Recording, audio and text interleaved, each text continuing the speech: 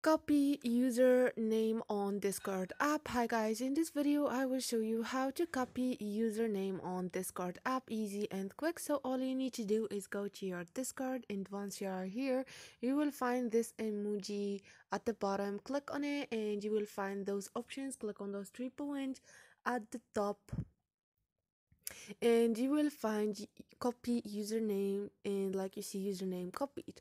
Now you can share your username on discord on other apps easy and quick.